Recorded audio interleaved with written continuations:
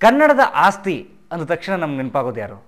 ಅವರು ನಮ್ಮ ಮಾಸ್ತಿ ವೆಂಕಟೇಶ್ ಅಯ್ಯಂಗಾರ್ ಅವರೇ ಕನ್ನಡಕ್ಕೆ ನಾಲ್ಕನೆಯ ಜ್ಞಾನಪೀಠ ಪ್ರಶಸ್ತಿ ದಕ್ಕಿಸ್ಕೊಟ್ಟ ಮಹನೀಯರು. ಅವ್ರ ಬಗ್ಗೆ ನಿಮ್ಮ ಹತ್ರ ಒಂದು ಎರಡು ಮಾತು ಹಂಚ್ಕೊಳ್ಳೋಣ ಅಂತ ಹೇಳಿ. ಸಣ್ಣ ಕಥೆಗಳ ಜನಕ ಅನ್ನೋದು ಮಾಸ್ತಿ ವೆಂಕಟೇಶ್ ಅಯ್ಯಂಗಾರ್ ಅವರಿಗಿದ್ದಂತಹ ಒಂದು ಬಿರುದು. ಇಂತಹ ನಮ್ಮ ಮಾಸ್ತಿ ಅವರು ಜನಿಸಿದ್ದು ಇಂದಿನ ಕೋಲಾರ ಜಿಲ್ಲೆಯ ಮಾಲೂರು ತಾಲೂಕಿನ ಮಾಸ್ತಿ ಅಂತನ್ನುವ ಗ್ರಾಮದಲ್ಲಿ. ಜೂನ್ ಆರು ಸಾವಿರದ ಎಂಟುನೂರ ತೊಂಬತ್ತೊಂದು ಮಾಸ್ತಿಯವರು ಹುಟ್ಟಿದ ದಿವಸ ಅವರ ತಂದೆ ರಾಮಸ್ವಾಮಿ ಅಯ್ಯಂಗಾರ್ ಅಂತ ಹೇಳಿ ತಾಯಿ ತಿರುಮಲಂನವರು ಒಂದು ಕಾಲಕ್ಕೆ ತುಂಬಾ ಶ್ರೀಮಂತವಾಗಿದ್ದ ಮಾಸ್ತಿಯವರ ಕುಟುಂಬ ಮಾಸ್ತಿಯವರು ಹುಟ್ಟುವ ಕಾಲಕ್ಕೆ ಬಡತನದ ಅಂಚು ತಲುಪಿತು. ಹೀಗಾಗಿ ಮಾಸ್ತಿಯವರ ಬಾಲ್ಯ ಸ್ವಲ್ಪ ಕಷ್ಟದಲ್ಲಿಯೇ ಕಳಿಬೇಕಾಗಿ ಬಂತು. ಆದರೂ ಹೊಂಗೇನಹಳ್ಳಿಯ ಶಿವಾರ ಪಟ್ಟಣದ ಪುಟ್ಟ ಸ್ಕೂಲ್ನಿಂದ ಬೆಂಗಳೂರಿನ ಸೆಂಟ್ರಲ್ ಕಾಲೇಜಿನ ಬಿ ಎ ಪದವಿವರೆಗೂ ಮಾಸ್ತಿಯವರು ಮೊದಲ ರ್ಯಾಂಕನ್ನು ಯಾರಿಗೂ ಬಿಟ್ಕೊಟ್ಟಿರಲಿಲ್ಲ. ಮುಂದೆ ಮದ್ರಾಸ್ ಯೂನಿವರ್ಸಿಟಿ ಸೇರಿ ಅಲ್ಲಿ ಇಂಗ್ಲಿಷ್ ಎಂ ಎ ಮಾಡ್ತಾ ಗೋಲ್ಡ್ ಮೆಡಲ್ ಪಡಿತಾರೆ ಮಾಸ್ತಿಯವರು. ಮದ್ರಾಸಿನ ಪ್ರೆಸಿಡೆನ್ಸಿ ಕಾಲೇಜ್ನಲ್ಲಿ ಕೆಲವು ಕಾಲ ಉಪನ್ಯಾಸಕರಾಗಿಯೂ ಕೆಲಸ ಮಾಡ್ತಾರೆ. ಮುಂದೆ ಮೈಸೂರಿಗೆ ಬಂದು ಸಿವಿಲ್ ಸರ್ವಿಸಸ್ ಪರೀಕ್ಷೆ ತಗೊಂಡು ಅದರಲ್ಲಿ ಪಾಸಾಗಿ ಸಾವಿರದ ಒಂಬೈನೂರ ಹದಿನಾಲ್ಕರಲ್ಲಿ ಅಸಿಸ್ಟೆಂಟ್ ಕಮಿಷನರ್ ಕೆಲಸಕ್ಕೆ ಸೇರ್ಕೋತಾರೆ. ಇನ್ನು ಮಾಸ್ತಿಯವರು ಕಥೆಗಾರನಾದ ಕಥೆ ಹೇಳಬೇಕು ಅಂತಂದ್ರೆ ಅದು ಇನ್ನೊಂದು ಇಂಟ್ರೆಸ್ಟಿಂಗ್ ಕಥೆ. ಕುವೆಂಪು ಅವರ ಜೀವನದ ಒಂದು ಘಟನೆ ನಾವೆಲ್ಲರೂ ಸಾಮಾನ್ಯವಾಗಿ ಕೇಳೇ ಇರ್ತೀವಿ. ಅವರು ಮೊದಲು ಬರೆದದ್ದು ಇಂಗ್ಲಿಷ್ನಲ್ಲಿ. ಆದರೆ ಅವರನ್ನ ಒಂದು ಮುಖ್ಯವಾದ ಘಟನೆ ಕನ್ನಡದಲ್ಲಿ ಬರೆಯೋ ಹಾಗೆ ಪ್ರೇರೇಪಿಸಿತ್ತು ಅಂತ.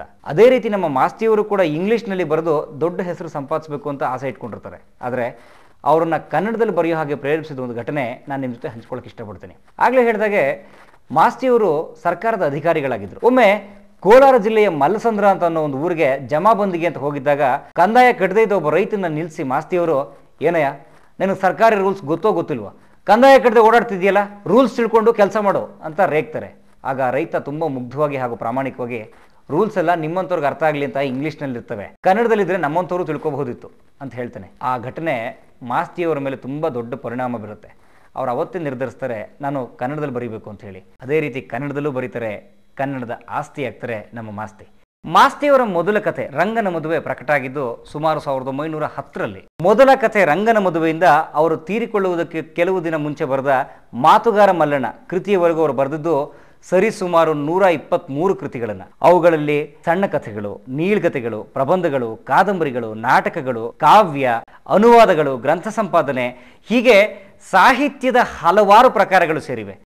ಆ ಎಲ್ಲ ಪ್ರಕಾರಗಳಲ್ಲೂ ಅಪಾರವಾದ ಕೆಲಸ ಮಾಡಿ ಮಾತಿಗೆ ತಕ್ಕ ಹಾಗೆ ಕನ್ನಡದ ಆಸ್ತಿಯಾದವರು ಮಾಸ್ತಿ ವೆಂಕಟೇಶ್ ಅಯ್ಯಂಗಾರ್ ಅವರು. ಮಾಸ್ತಿಯವರ ಕಥೆಗಳ ವಿಶೇಷ ಒಂದು ನಿಮ್ಗೆ ಹೇಳಲೇಬೇಕು. ಅದೇನು ಅಂತಂದರೆ ಅವರ ಕಥೆಗಳಲ್ಲಿನ ಗ್ರಾಮೀಣ ಸೊಗಡು. ಗೋರೂರು ರಾಮಸ್ವಾಮಿ ಅಯ್ಯಂಗಾರ್ ಅವರ ಸಾಹಿತ್ಯದಲ್ಲೂ ಕೂಡ ನಾವು ಈ ರೀತಿಯ ಒಂದು ಗ್ರಾಮೀಣ ಅನುಭವವನ್ನು ದಟ್ಟವಾಗಿ ಕಾಣಬಹುದು. ಜಾನಪದದ ಬಗ್ಗೆ ಮಾಸ್ತಿಯವರಿಗೆ ತುಂಬ ಆಸಕ್ತಿ. ಮಾಸ್ತಿಯವರ ಕಥೆಗಳ ವಿಶೇಷತೆ ಬಗ್ಗೆ ಒಮ್ಮೆ ಯು ಆರ್ ಅನಂತಮೂರ್ತಿಯವರು ಈ ರೀತಿ ಒಂದು ಮಾತು ಹೇಳಿದರು. ಮಾಸ್ತಿಯವರ ಕಥೆಗಳನ್ನು ಅಜ್ಜ, ಮೊಮ್ಮಗ ಇಬ್ಬರು ಒಟ್ಟಿಗೆ ಕೂತು ಓದಿ ಆನಂದಿಸಬಹುದು. ಅದರಲ್ಲಿ ಸಭ್ಯತೆ ಮೀರಿದ ಅಶ್ಲೀಲವಾದ ಯಾವೊಂದು ಸನ್ನಿವೇಶವೂ ಮಾತು ಸಹ ಬರೋದಿಲ್ಲ. ಮಾಸ್ತಿಯವರ ಕಥೆಗಳು ಅಪ್ಪಟವಾದ ದೇಸಿ ಕಥೆಗಳು. ಇನ್ನೂ ಒಂದು ವಿಶೇಷ ಏನು ಅಂತಂದ್ರೆ, ಅವರ ಕಥೆಗಳಲ್ಲಿ ಯಾವುದೇ ಬೌದ್ಧಿಕತೆಯ ಪ್ರದರ್ಶನ ಇರೋದಿಲ್ಲ. ಜೋಗಿಯಾರ್ ಅಂಜಪ್ಪನ ಕೋಳಿ ಕಥೆ, ರಂಗನ ಮದುವೆ, ರಂಗನ ದೀಪಾವಳಿ, ಕಾಮನ ಹಬ್ಬದ ಒಂದು ಕಥೆ, ಇವೆಲ್ಲವೂ ಅವರ ಅಪ್ಪಟ ಜನಪದ ಹಿನ್ನೆಲೆಯ, ಜನಪದ ಅನುಭವದಿಂದ ಒಡಮೂಡಿದ ದೇಸಿ ಕಥೆಗಳು. ಮಾಸ್ತಿಯವರ ಕಾವ್ಯನಾಮ ಶ್ರೀನಿವಾಸ ಅಂತ. ಸಣ್ಣ ಕಥೆಗಳನ್ನು ಹೊರತುಪಡಿಸಿ ಮಾಸ್ತಿಯವರ ಇತರೆ ಸಾಹಿತ್ಯ ಪ್ರಕಾರದ ಬಗ್ಗೆ ಮಾತಾಡಬೇಕು ಅಂತಂದರೆ ಕಾಕನಕೋಟೆ ನಾಟಕವನ್ನು ನಾವು ಮರೆಯೋದಕ್ಕೆ ಸಾಧ್ಯವೇ ಇಲ್ಲ. ಬಹುಶಃ ಕನ್ನಡ ರಂಗಭೂಮಿಯಲ್ಲಿ ಅತ್ಯಂತ ಯಶಸ್ವಿಯಾದ ನಾಟಕಗಳಲ್ಲಿ ಒಂದು ಕಾಕನಕೋಟೆ.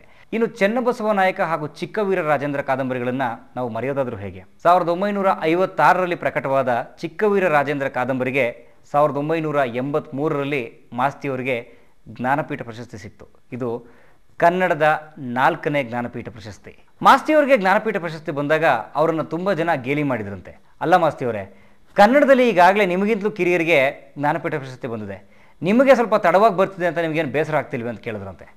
ಆಗ ಮಾಸ್ತಿಯವರು, ಅಲ್ರಯ್ಯ ಮನೇಲಿ ಸಿಹಿ ಮಾಡಿದ್ರೆ ಮೊದಲು ಯಾರಿಗೆ ಕೊಡ್ತಾರೆ ಹೇಳಿ? ಮನೆ ಕಿರಿಯರಿಗೆ ತಾನೆ?